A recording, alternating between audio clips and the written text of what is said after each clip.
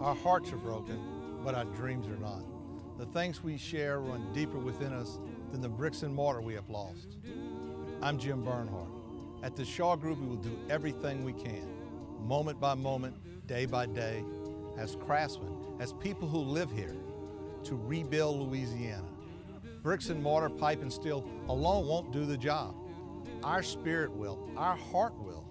As we rebuild, our vision of sorrow will become a vision of hope. At the Shaw Group, we're ready. We're strong.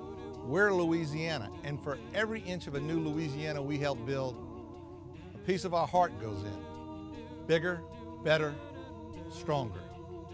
You know we can.